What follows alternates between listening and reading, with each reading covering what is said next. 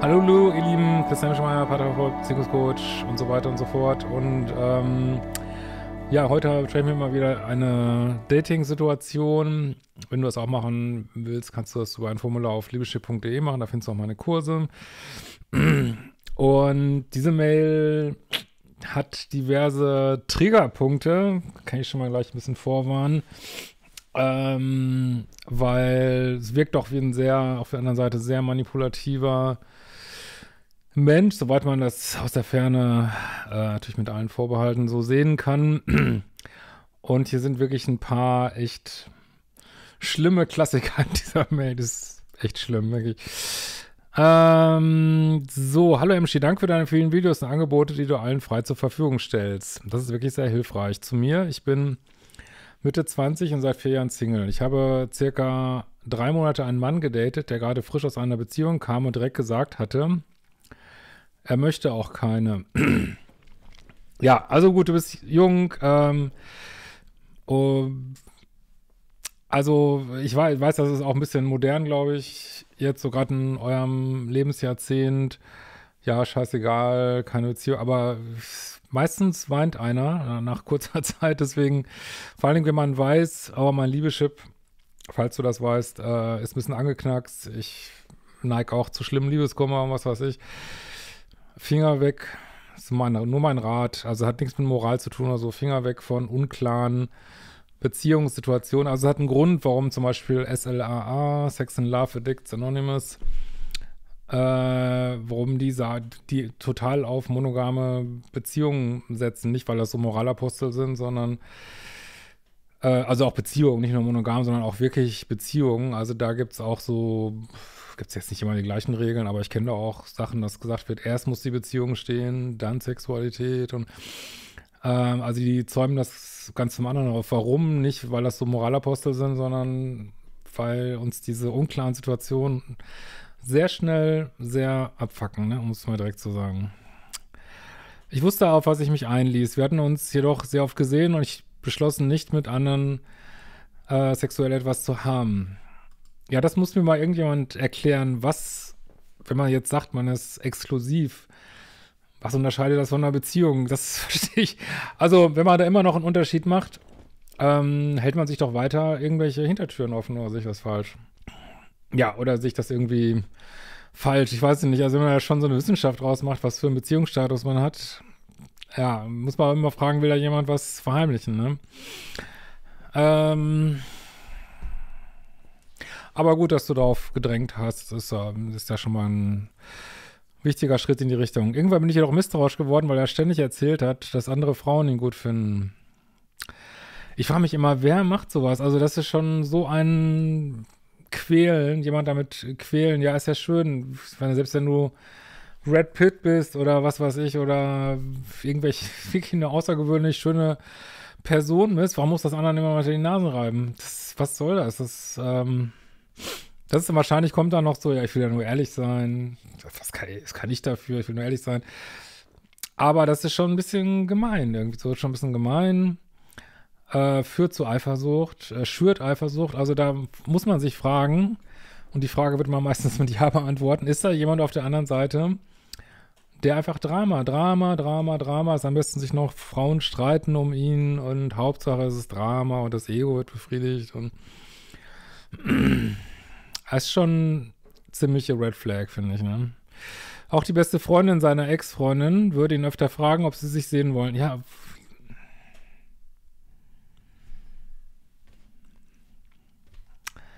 Also ist ja schön, wenn das mal vorkommt, wenn du sagst, Mensch, ich bin heute angesprochen worden auf der Straße und äh, und du wolltest dir nur sagen und äh, aber selbst da muss man sich schon fragen, ja, wenn es eh nichts Non-Event war. Äh, ja, vor allem auch am Anfang von einer Beziehung, wo man unsicher ist. Äh, ja, ist ja, wie gesagt, schön, wenn du wenn man einen interessanten Partner hat. Man muss der einen das ständig unter die Nase reiben und wie, muss ich auch fragen, wie tritt er auch auf, dass sowas ständig passiert?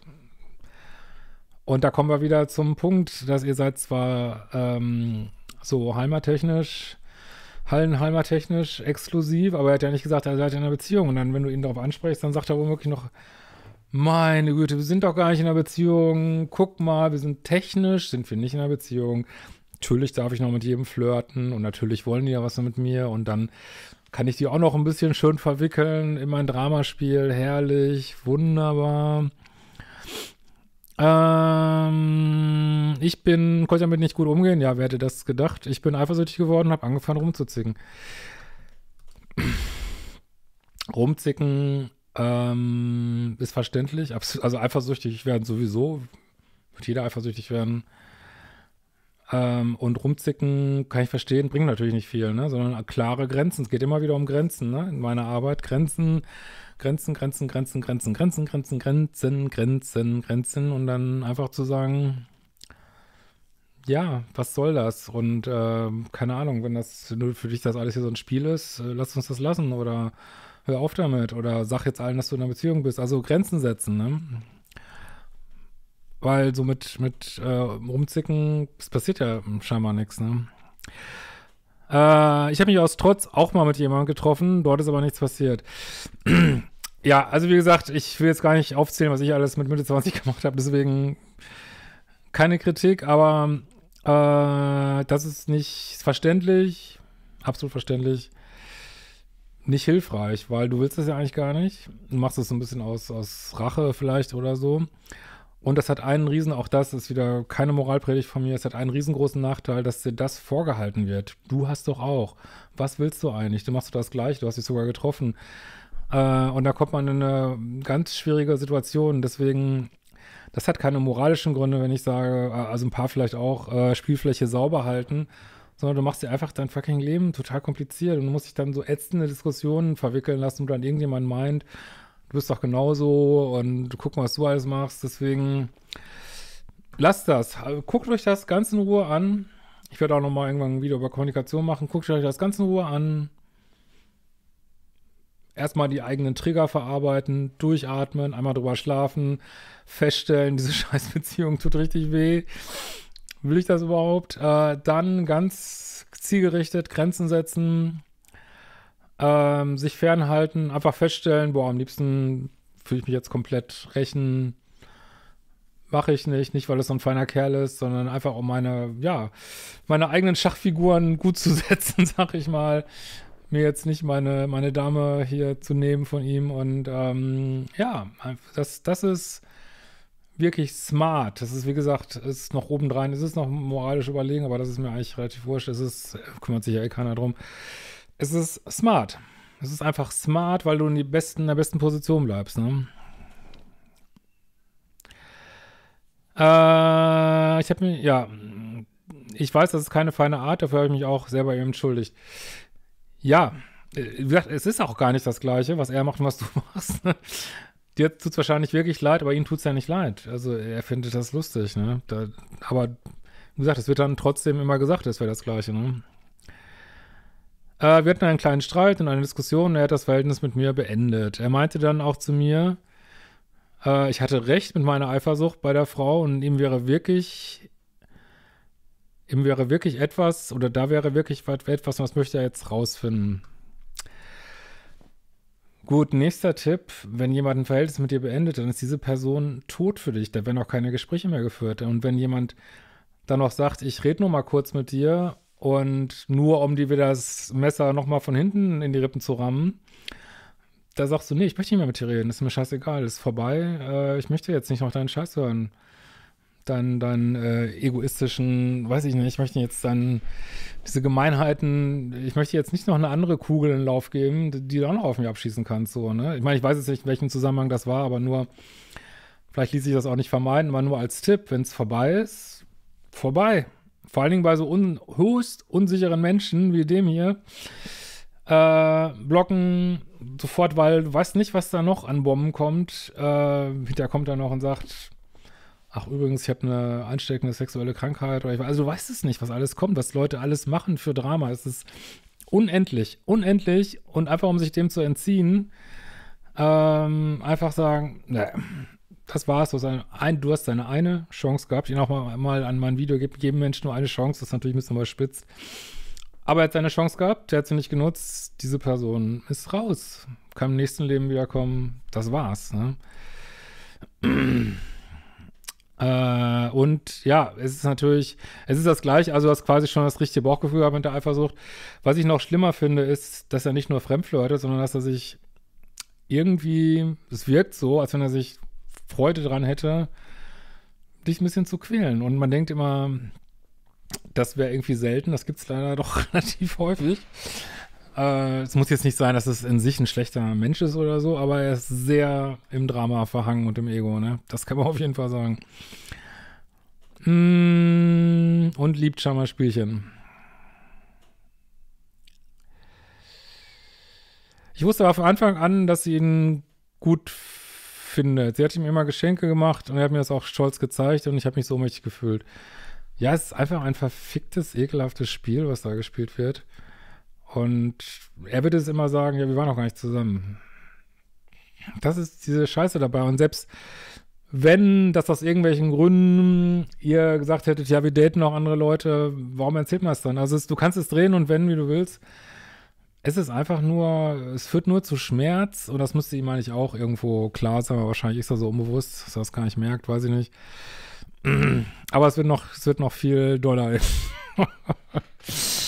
Es wird leider noch viel doller. Oh. So, ähm.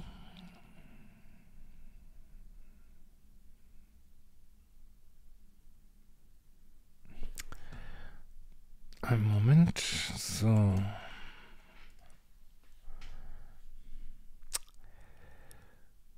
Gut, dann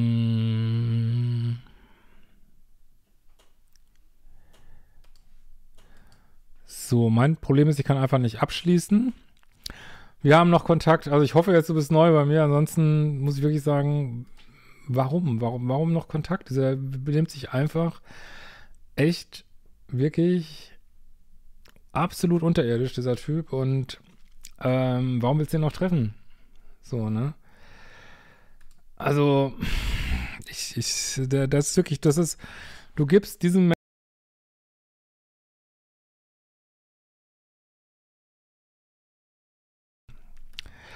Ist, wie gesagt, ist keine Kritik. Bin sehr done that. Haben wir alle schon mal gemacht, die in solcher Art von Beziehungen waren. Aber ja, es wird dann immer schlimmer, ne? Null Kontakt. Er, er, er hat es beendet. Sein Pech. Lass deinen Selbstwert nicht crashen von so einer Drecksbeziehung. Äh, mach vielleicht einen Selbstbehauptungskurs noch oder Selbstliebe. Äh, vor allen Dingen Modul 1 würde ich dir empfehlen oder auch 0 für Liebeskummer. Also raus da. Er hat seine Chance gehabt. Er ist raus. Mein Gott, du bist jung. Äh, pff Scheiß was drauf. Äh. Äh, wir treffen uns zum Spazierengehen, haben nochmal gesprochen. Er meint, ich hätte mit meiner Eifersucht und meiner Verlustangst genau das hervorgerufen, wovor ich am meisten Angst hatte, nämlich ihn zu verlieren. Kompletter fucking Bullshit. Also da kann ich nie mal was zu sagen, weil das so. Also irgendjemand macht dich total eifersüchtig und gibt's auch noch zu.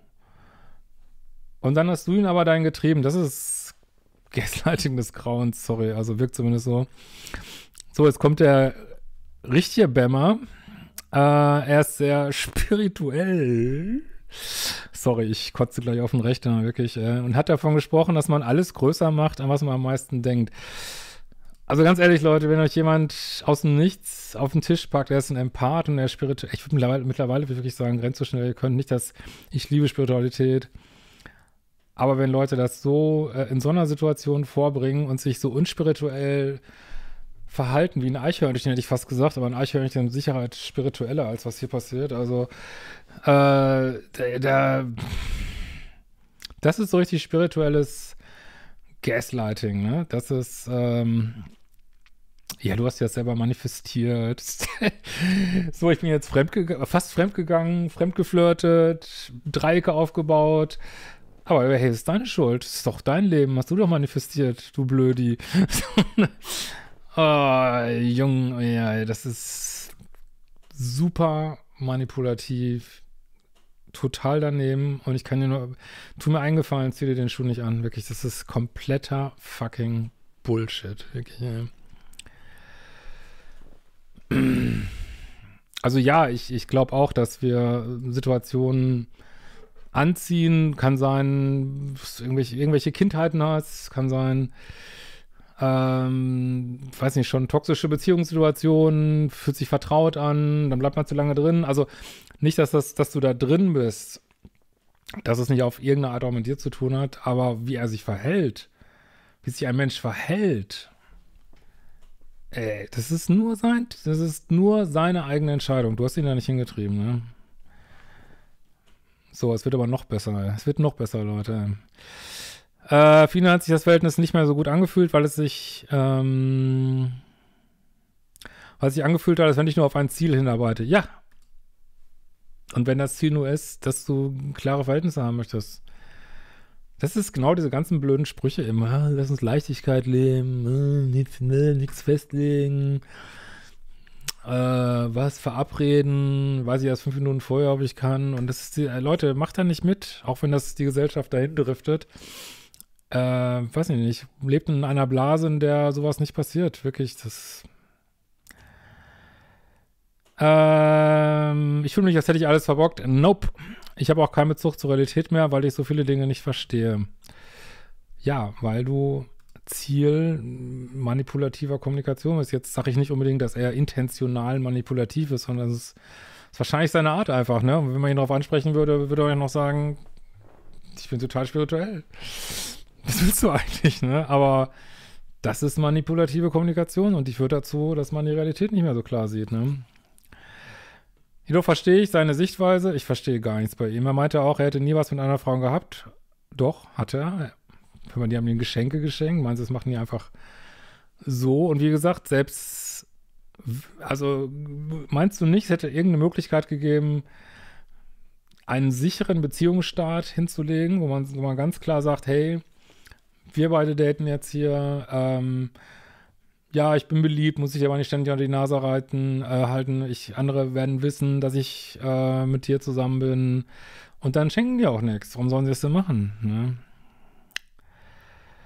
Äh, als ich angefangen habe, misstrauisch zu werden, war ihm das zu viel. Äh, was auch immer, ich meine, ihr seid nicht kompatibel. Also, du hast es.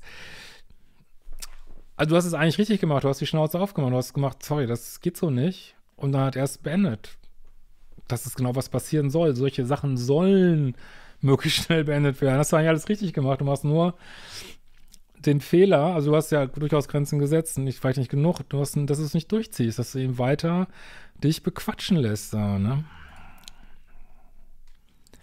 Hinterher kommt er noch an mit irgendwie, das ist Dreieck und weiß ich nicht. Also du bist ja auch wirklich in einer sehr äh,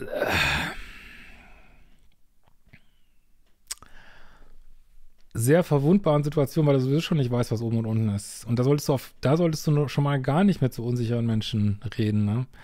Die, es wird ja immer schlimmer dann, ne? Ähm, äh, habe ich überreagiert damals? Nein.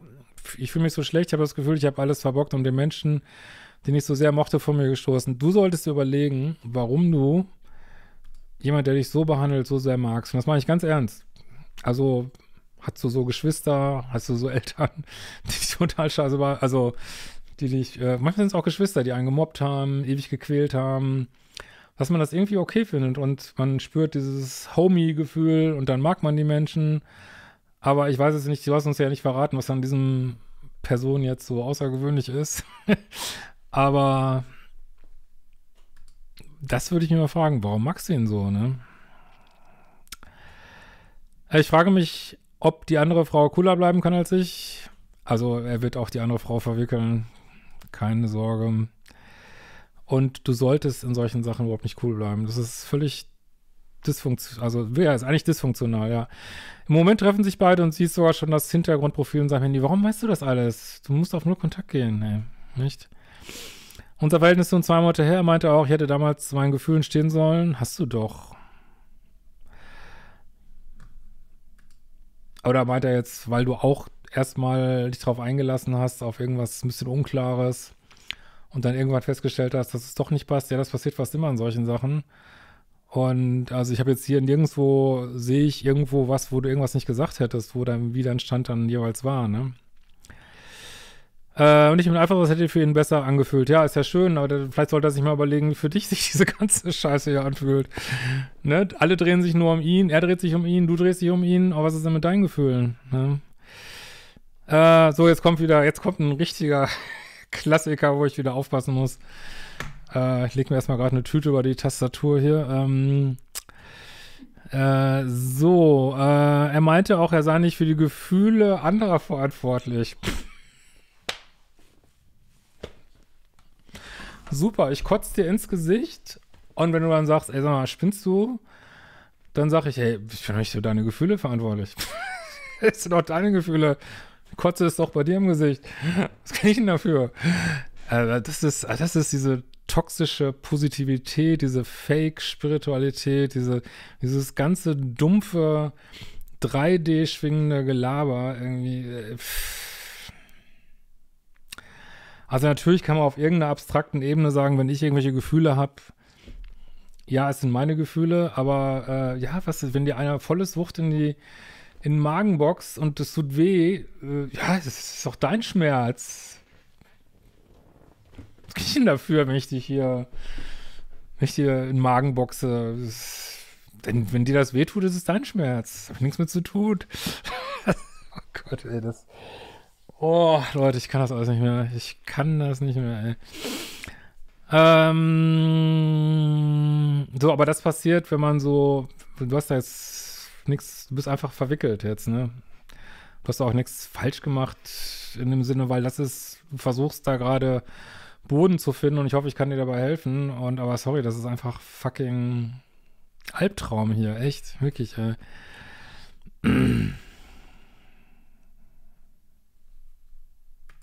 Wie gesagt, es gibt, ja, es gibt, könnt ihr auch gerne mal meinen Eifersuchtskurs, und es gibt natürlich unbegründete Eifersucht. Es gibt Leute, habe ich auch erlebt, Leute, die aus dem Nichts dich tot kontrollieren, eifersüchtig sind, und du machst wirklich gar nichts, du bist wirklich Mäuschen, dann kannst du natürlich sagen, puh, ja, ja, das das glaube ich nicht. Also ich habe jetzt wirklich mein Bestes gegeben, hier ist mein Handy, kannst du durchgucken, äh, mach dies, das, jenes und es wird nicht besser, was es meistens nicht wird, könnt ihr gerne mal in den Kurs reingucken. Dann kannst du sagen, sorry, das musst du für dich, glaube ich, aufarbeiten. Aber er hat es ja sogar zugegeben. Ja, er hat dich eifersüchtig gemacht. Das, das ist, also die, diese Mail, die ist echt, äh, nicht die Mail, also diese ganze Situation, die ist wirklich so ätzend, so toxisch, wirklich. Ja. Ähm,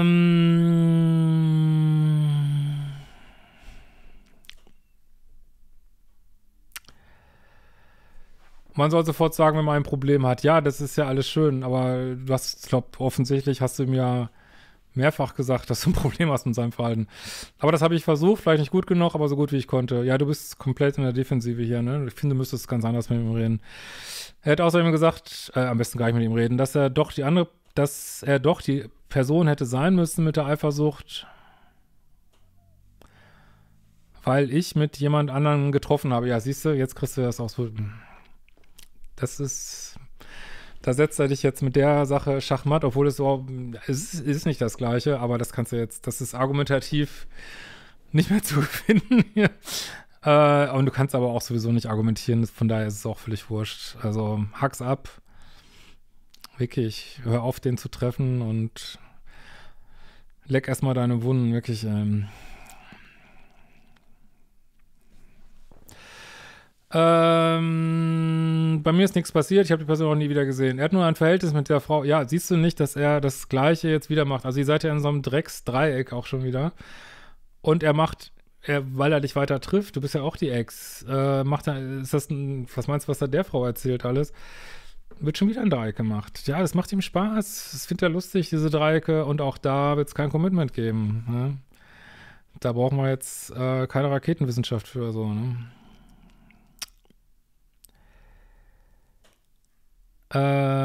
Ähm, habe ich in die Arme dieser Frau getrieben mit meiner Eifersucht? Nein, du hast, indem du gesagt hast, sorry, das geht hier nicht, hast du das äh, relativ zeitnah beendet. Du ziehst nur leider nicht durch und triffst ihn weiter. Das macht das nicht. Kann ich dir wirklich nur, wenn, wenn du willst, dass es dir besser geht, mach das nicht. Echt. Er hatte nach seiner Trennung mich äh, und nach mir direkt die beste. Er hatte nach seiner Trennung mich und nach mir direkt die beste Freundin seiner Ex. Ja, scheint ein guter Dater zu sein. Ähm, ist auch wurscht, was er vor dir, nach dir macht, spielt keine Rolle. Ne? Vielleicht sieht er gut aus und so, aber das ist alles nicht wert hier, ne? Äh, ich habe so viele Fragen im Kopf und kann nicht abschließen. Ja, du wirst, diese Fragen werden sich klären, wenn du länger auf Null Kontakt bist. Glaub mir. Und eigentlich, also ich, ich verstehe schon, also diese, dieses offene Fragen ist eigentlich schon so ein Zeichen dafür, dass man nicht in seiner Mitte ist, weil eigentlich gibt es ja keine Fragen. Ich meine, ich, finde, gibt es überhaupt keine Fragen. Aber ich weiß, wenn man da drin steckt, denkt man, es gibt so viele Fragen, ja. Äh, ich habe das Gefühl, ich muss kämpfen. Oh nee, bitte nicht. Ähm, ich weiß total schräg. Soll ich ihm nochmal sagen, wie gern ich ihn habe? Nein! Um in einem klaren Korb zu bekommen. Nein, er will ja, er will dich genau in dieser Position haben, zur Verfügung. In seinem schwarzen Notizbuch, wenn man sonst nichts läuft, dann ruft er bei dir an, kapp alle Brücken hinter dir, beende das. Und der Korb ist schon da, nur er möchte dich ja gar nicht aus deinem, weil das macht ihm irgendwie Freude mit dir. Aber auf eine dunkle Art, finde ich. Oder was heißt dunkel? Also auf eine dysfunktionale Art, tut dir nicht gut. Ähm, und ja, da, da ist alles gesagt. Wirklich, ne? Und du fütterst nur sein Ego, wenn du da weitermachst, ne? Äh, liegt es wirklich so viel an mir, dass das Verhältnis nicht klappt? Nope. Äh, besonders die Sichtweise von uns beiden. In unserem Trennungsgespräch meinte er auch, er hört auf mit diesen Trennungsgesprächen in toxischen Dating-Situationen, Leute. Wirklich, das ist nicht notwendig. Dass die Eifersucht nur in meinem Kopf sei und er meinte, Mädel, komm mal klar. Ich bin erschöpft, Leute. Ich kann dazu nichts mehr sagen. Er hat es auch zugegeben, dass er dich eifersüchtig gemacht hat. Äh, war mein Bauchgefühl doch richtig und man kann ihm nicht vertrauen? Yep. Oder bin ich hier wirklich verrückt? Nein. Ich springe mal so stark hin und her zwischen, hab alles verbockt und kann ihn verstehen. Ja, das ist dieses Pluspolige, in dem du da gerade bist. Auf der anderen Seite frage ich mich, warum er nicht einmal verstehen kann, warum man sich nicht traut, was anzusprechen. Es ist doch für jeden schwer, über Gefühle zu sprechen. Absolut. Ich habe das Gefühl, er braucht so viel Sicherheit und ist auch so sensibel, besonders wenn es um sein Ego geht. Ja, äh, das ist ja schön, dass er so sensibel ist, weil mit dir ist er überhaupt nicht sensibel. Mit dir ist, ist er wirklich eine, eine Axt. Ne? Eine sensible Axt irgendwie so, ne? Sorry für niemanden triggern, aber äh, ich habe so starke Gefühle von ihm. Ja, das sollst du mal erforschen, weil verdient hat er das nicht, ne? Und gleichzeitig so ein starkes Flucht Fluchtgefühl. Ja, wie gesagt, ich glaube, wenn du da vielleicht nochmal in deine Kindheit guckst, wirst du wahrscheinlich Antworten finden. Nicht immer. Vielleicht bist du auch gerade nicht in einer guten Situation, aber das Fluchtgefühl. Leute, wenn ihr ein Fluchtgefühl habt, gebt lieber dem Fluchtgefühl nach. Wirklich. Gut gemeint, wirklich sehr, sehr gut gemeinter Rat, ey. Lieber mal zu, einmal zu viel flüchten, als in sowas zu bleiben, würde ich sagen. Äh, ist das normal? Ja, ist alles normal. Ähm, welcher dieser Anteile ist gesund und welcher ungesund in dieser Geschichte? Ja, also dein Bauchgefühl ist auf jeden Fall gesund, glaube ich. Oder angemessen, sagen wir mal so. Und gesund, ungesund sind ja hier nicht so gute Begriffe. Ähm, genau, schreibst du noch, dass es hier gerade nicht so nicht so dolle geht. Das ist auch verständlich. Also wirklich, ich gehe auf nur Kontakt. Äh, genau, alles andere hat man ja auch schon äh, denke ich, geklärt. Genau. Ja, hoffe, ich konnte dir ein bisschen weiterhelfen. In diesem Sinne, wir sehen uns bald wieder. Ciao, ihr Lieben.